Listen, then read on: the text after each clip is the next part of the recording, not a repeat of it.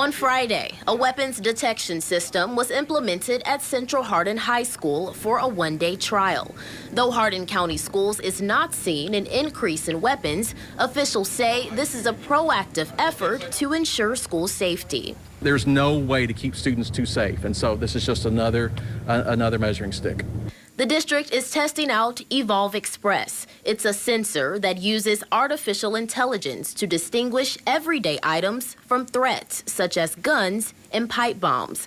The multi million dollar technology is popular at NFL stadiums, amusement parks, and will soon be utilized at Jefferson County Public Schools. Here's how it works students, staff, and visitors walk through the kiosk with all of their belongings. If a weapon is present, it alarms the system.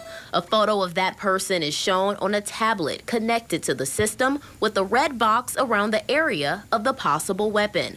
A staff member will then conduct a search. And school officials say possible weapon because there are some nuisance items that the technology may confuse as a danger. So this morning we ask uh, students to take out their three-ring binders and take out their Chromebooks. And you know, when you're bringing in 1,800 students into a building, sometimes that message doesn't get heard uh, by as uh, many people as you'd like.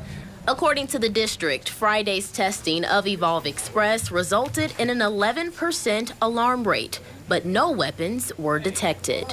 The new weapon system will also be used at Central Hardin's home football game on Friday night. And school officials say it's all a part of their mission to maintain a weapons free campus. Has something ever slipped by us and, and been in a school building that we didn't know about? I think I'd have we'd all have our head in the sand to think that that hasn't happened, uh, and it's probably happened at every school in, in America. Uh, but um, hopefully, this will catch everything. From Hardin County, Alexis Matthews, WLKY News.